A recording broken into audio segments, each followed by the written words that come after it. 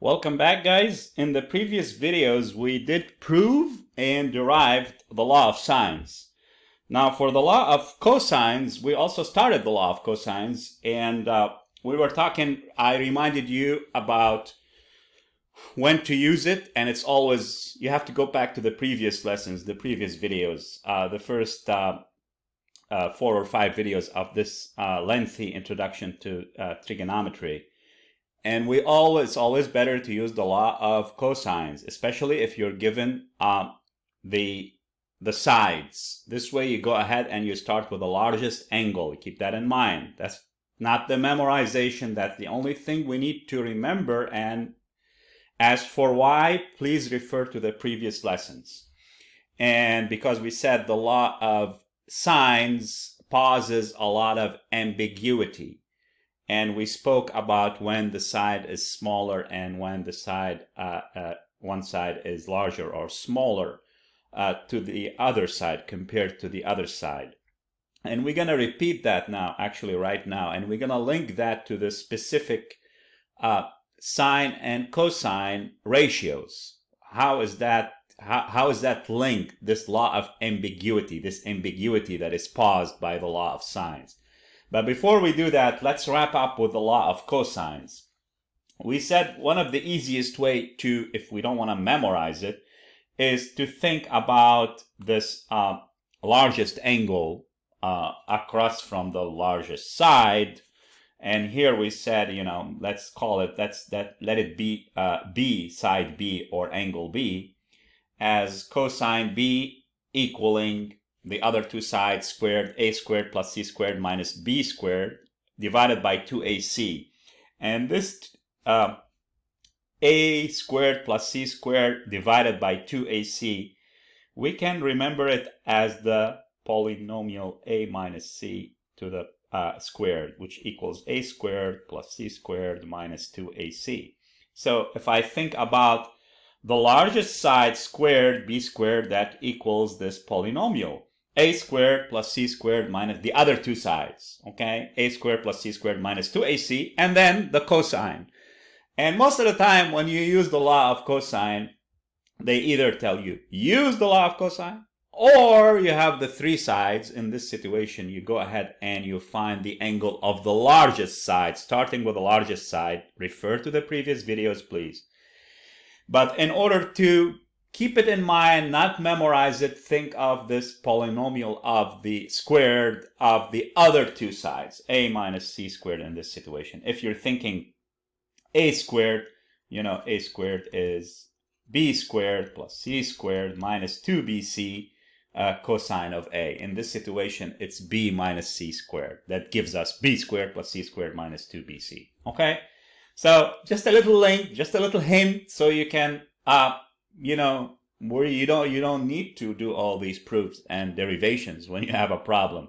These just in order for everything to stick in your mind and get linked to the other uh, parts and the other uh, layers of of uh, uh, trigonometry and mathematics in general. Okay, and then in order to prove it, what I did was we took it in acute angle first, and we said this is side B, this is side across from A is small a cross from C is C.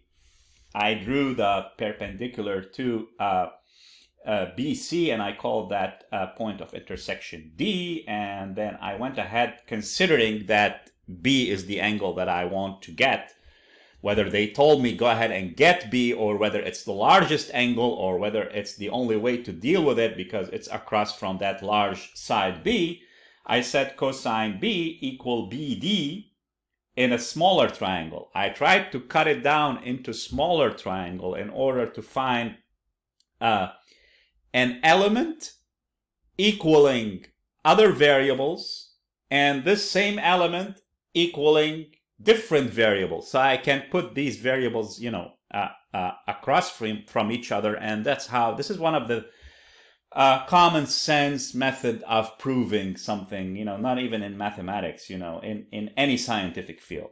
So I said cosine B in a small triangle ADB or ABD equal BD divided by the adjacent side divided by C, the hypotenuse. And then I went ahead and I said in triangle uh, ACD, this other small triangle, what do I have? I have Pythagorean CD squared equal AD squared plus uh, CD squared. And instead of CD squared, I did divide it, CD, I did divide it as a minus because I want to get that minus. Remember, we want to get that minus. That's why I went ahead and I, and I, and I followed this path. A minus C in order to get minus 2AC. So that's why I went ahead and I divided a big triangle into two smaller triangle. This way, when I take the longer length and I want to replace it, or the smaller length, I'm, I'm sorry, and I want to replace it, I can go ahead and say it's the largest length or uh, segment length minus another uh, variable or uh, uh segment length.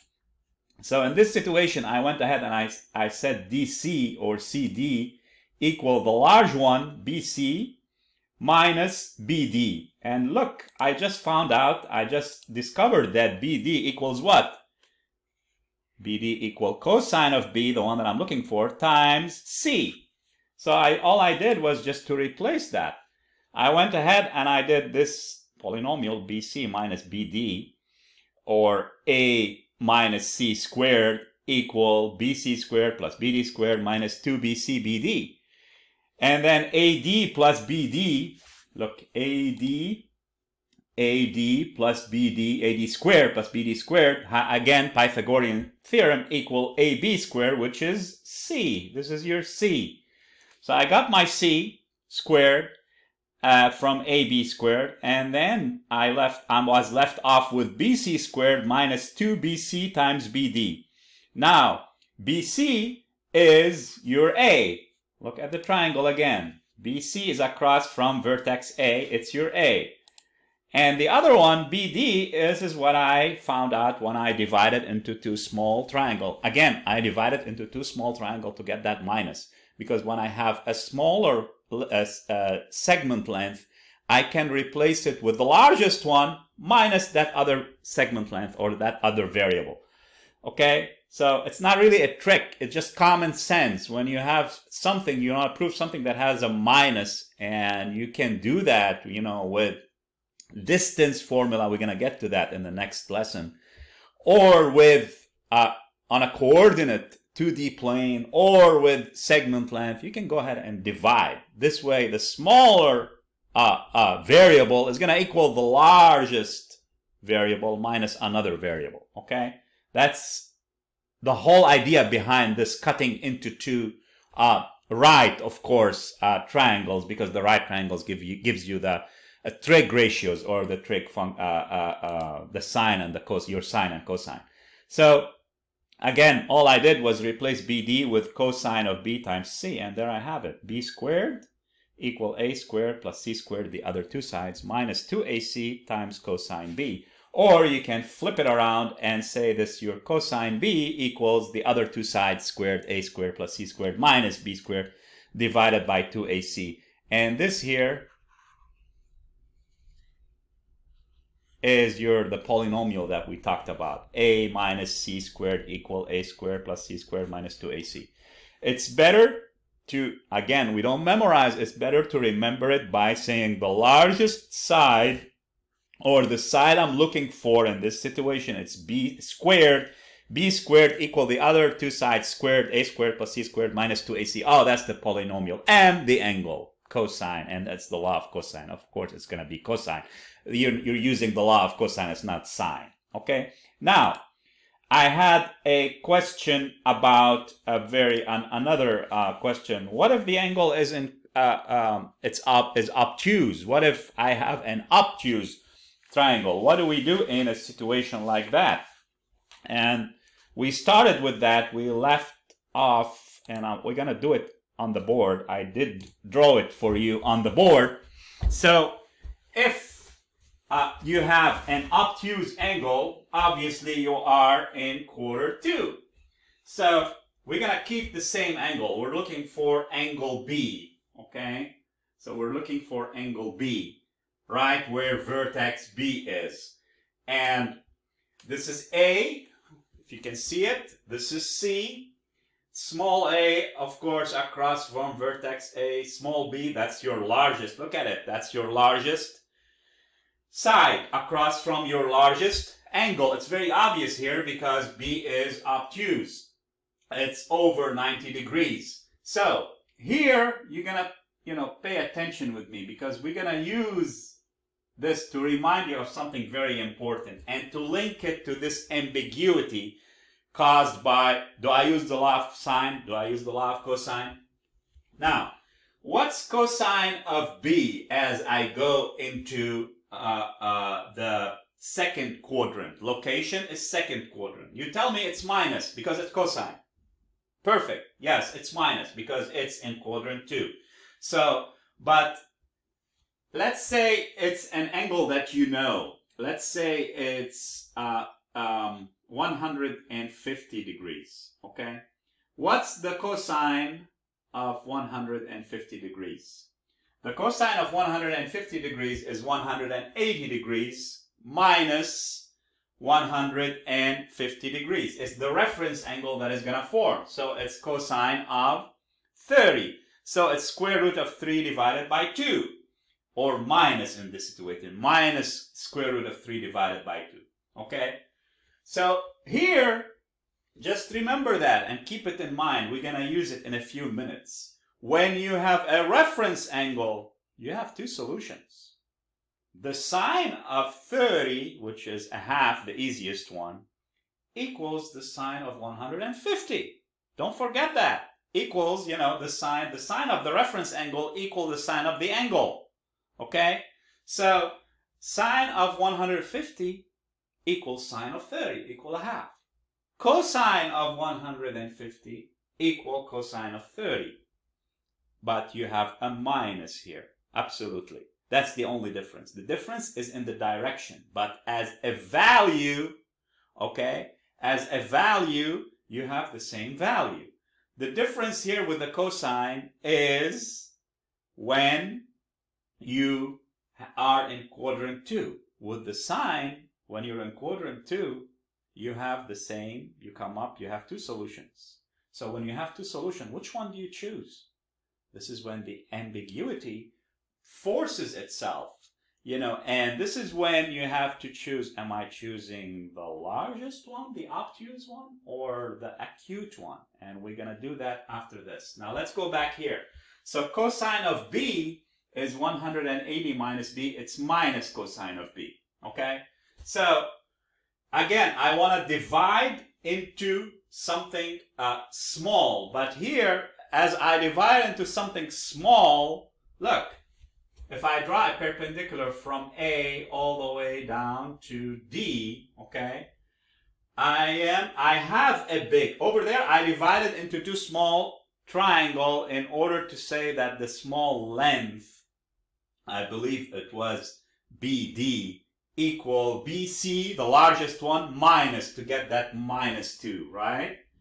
Here, I can't do that because I do have the, the largest shape. All I can do is just, you know, come up with a right triangle. Once I come up with that right triangle, I draw a perpendicular from A to BC, to line BC.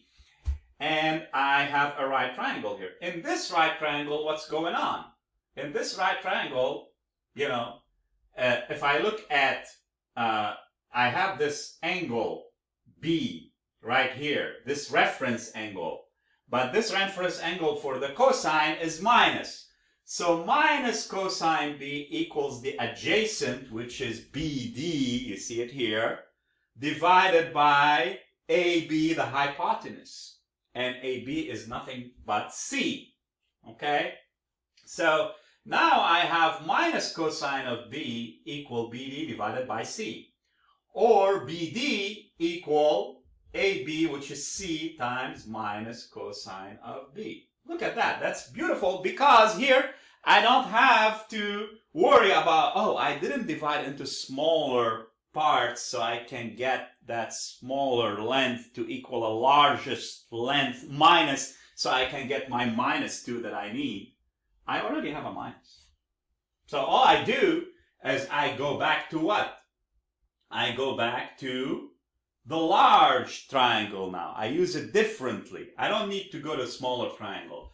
I go to triangle A, C, D, and I say Pythagorean AC squared equal DC squared, the whole thing, this whole length from B to C, plus AD squared. And this DC squared now, I can segment it, I can cut it and dissect it to get that BD that I need. And the BD has a minus, don't forget that. So I'm good. So this DC, now I'm going the other way around. I already have a minus, so I go with a plus, but the plus is gonna spit out a minus. So this DC squared equals none but BD plus BC, BD plus BC squared. And that's a polynomial. AD squared, I copy this down. It, instead of DC, I have BD squared plus BC squared plus 2BD. Now AD squared plus BD squared in that small right triangle that I form, AD squared plus BD squared, is none but AB squared, which is C, that you're given, probably, because you're looking for B squared or angle B. So you're probably given this one, okay? And I copy down my BC squared, and here I have B, uh, uh, um, BD as I, I get my BD from what I did here. BD is C times minus cosine of B. So BD is C times cosine, this is my C, times minus cosine of B. Okay? And BC is nothing but A. So here I have it, plus 2AC, but times minus cosine of B. So I got my minus out again. It did spit out the minus. So in this situation, you have b squared equaling c squared plus a squared minus 2ac cosine of b. And there you have it. You have the minus here. You got the minus by figuring out that BD is an extension in quadrant 2. It's not an extension in quadrant 1 for a cosine. So that's why it's minus cosine of B that equals BD divided by AB and not cosine B equal BD divided by AB. So even if you have an obtuse triangle that extend into quadrant 2, of course you're going to end up with the same you know, formula at the end. And in this situation, we didn't have to divide into two smaller right triangles because we, because we already have the large triangle. We already have the big triangle all we had to do is just extend that perpendicular to the line, to line BC, and we got ourselves a small uh, uh, right triangle in quadrant 2. Okay? And of course we ended up with the same, um, with the same uh, uh result and the same formula at the end. Now, the last thing we're going to talk about is your the ambiguity that is caused by having two solutions or two angles. And you always get two solutions and two angles when you have especially the sine because the cosine, you know, you get it with the cosine, but some student confuse that because the cosine in quadrant 2 is negative. However, with the sine in quadrant 2, the sine is always positive. So when you have a reference angle, again, this as simple as let me refresh your memory because before I dig into this. Sine of the simplest angle, which is 30 degrees, equal a half. Okay. What is the sine of 150? You go like this, right? The sine of 150, you go with the reference angle, the terminal side and the x-axis. This is your reference angle. So this is the 30 in quadrant 2 now, but it's positive for the sine. And this is your 150. They're both going to equal a half. And for the cosine, it's you just add the minus sign. So when you start with a law of sine, this is where when the ambiguity comes, and you got an you get an angle. The reference angle as well could be the solution. So which one do I choose? Do I choose the 30 or the 150? Do I choose the 60 or do I choose the 120? And this is where the ambiguity come from. Now, let's study it this way. let's uh, think about it. Okay, let's say A, side A is 6, 6 centimeters, 6 units, whatever you want. And B is 5. And you're given angle A acute equal 30 degrees. So you're given an acute angle at 30 degrees. And they ask you, what is the number of distinct triangles that can be constructed um, if A is acute? They want, they want you to know that A is acute, okay? So side A, which is 6, is across from that A. So the thing that you can think about is that that's all they have given you. They've given you that A equals 6, B equals 5, and side uh, angle A is acute. They want it to be acute. They want it to be under 90 degrees and they set it at 30 degrees. And the question is, what are the number of distinct triangles that can be constructed with this, with these uh, given uh, uh, values? So how I think about it, you know, I have a side, I have another side, I have one angle, okay?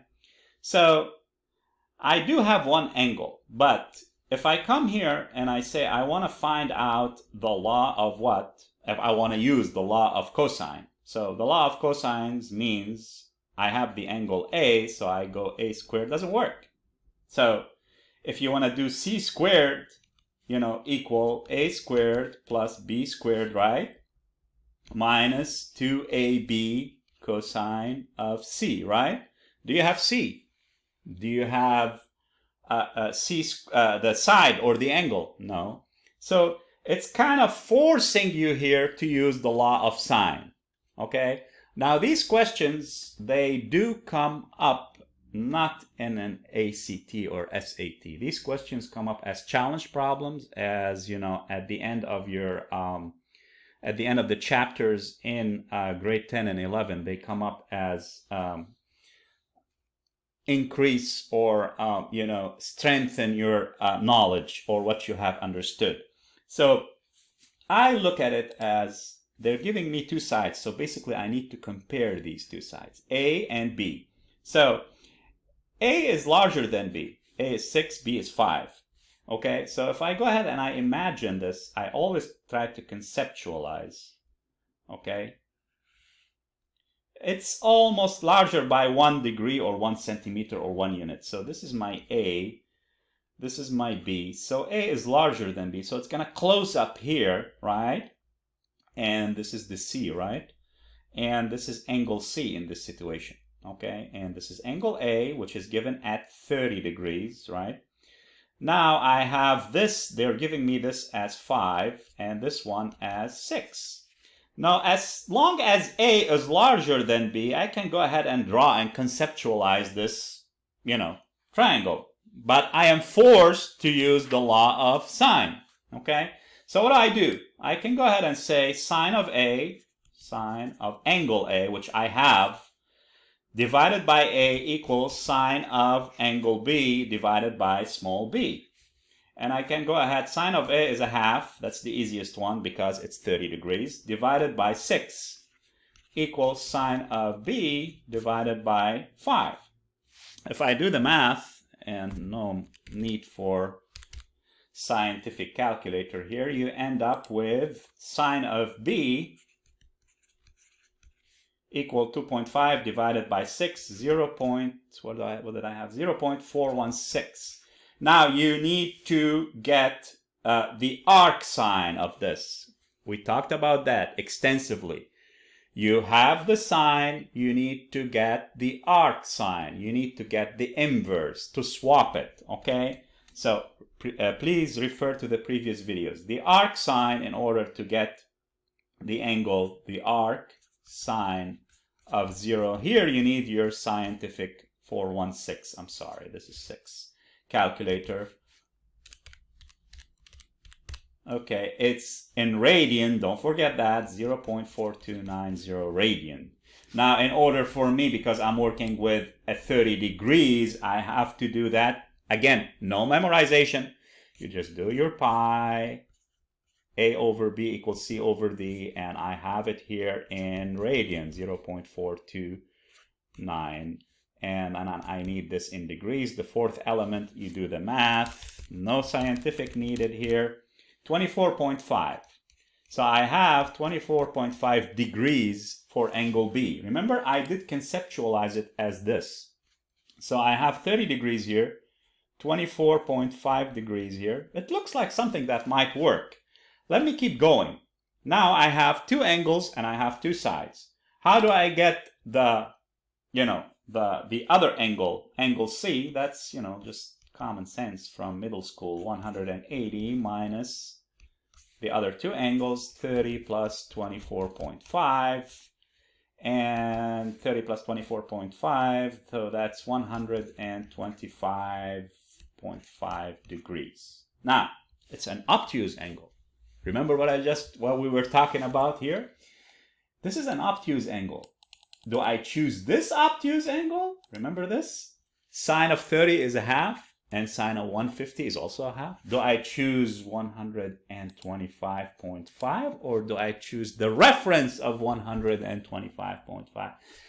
This is where the ambiguity from this constructional geometry is linked to the sine and cosine. So basically, what we're going to do is we're going to go ahead. If you do this, you can do sine of c again divided by c equal sine of A divided by